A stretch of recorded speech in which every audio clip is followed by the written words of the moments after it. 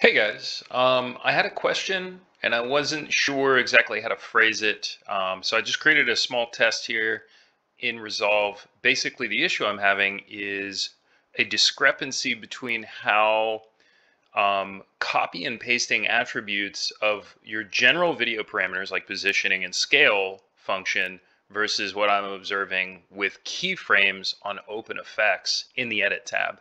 Admittedly, um, the reason for this is that I would prefer not to go into Fusion if at all possible. I really want to be able to keyframe OpenEffects um, here, but what I'm seeing is kind of preventing me from doing that.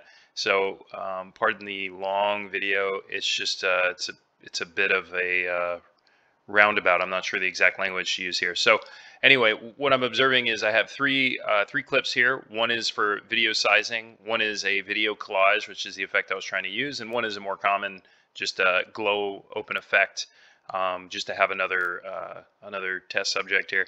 And uh, if I am Control C and then Alt V for uh, and the the the pop-up isn't going to show, but basically I have everything for video attributes with the exception of plugins and color correction, retime process. None of that is checked, but just basic resizing and stuff.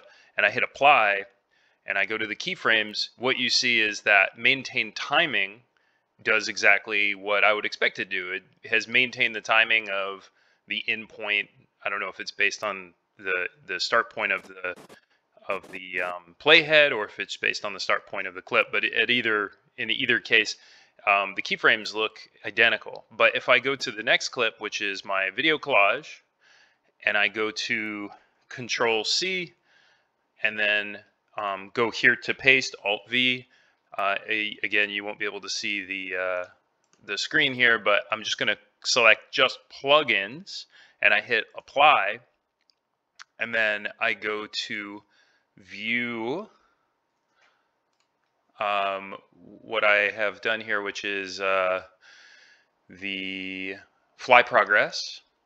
Um, then what you see is that the it, it appears that the the keyframes have not been appended based on either playhead or the start of the clip, but rather appended based on the income, the uh, time code of the incoming and outgoing clip. So if I go to um, take a look at the effects here, and then I go to tile animation, uh, and then to um, fly progress where the keyframes are, these keyframes are over here, um, oh, excuse me, uh, over here, whereas, and, and the reason why they're here is because this time code on this clip that I've just pasted to matches the time code of this clip here, which I've pasted from, which puts the keyframes offset down here. And you can see as I click through, you know, they're off the clip. Uh, this clip actually isn't even that long. So there's no way to even access these keyframes. Um, I mean, based on my understanding, like I'm, I'm hoping someone can explain. Um, but and then of course, if we go to just the, this clip here, we observe the same thing. Um, Control C, uh, Alt V, and then plugins. Um, and if I go to observe uh, with glow, just the shine threshold, um, you see that based on the time code of this clip and this clip, that it's, you know, these things are like basically offset um, based on the, the time code of the source clip, not based on the time code of the timeline or the positioning of the playhead.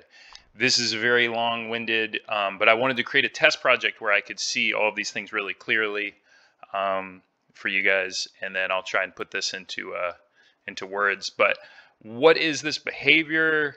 Um, is this expected behavior? To me, uh, this seems like it would be expected behavior because it's reproducible on all, all OpenEffects. And um, it's got to be a setting on the project level or something where it's saying like, "Hey, don't don't uh, don't maintain timing based on the um, timeline. Maintain timing based on the time code of the clip." But that just seems like a very odd um, uh, setting to have be the uh, the standard because um, I haven't I haven't manipulated any I haven't deep dived on any of, of those settings for this project. It's just default whatever uh, whatever the default for um, uh, for resolve is. Anyway, thanks for your help and hopefully uh, this is this video is helpful.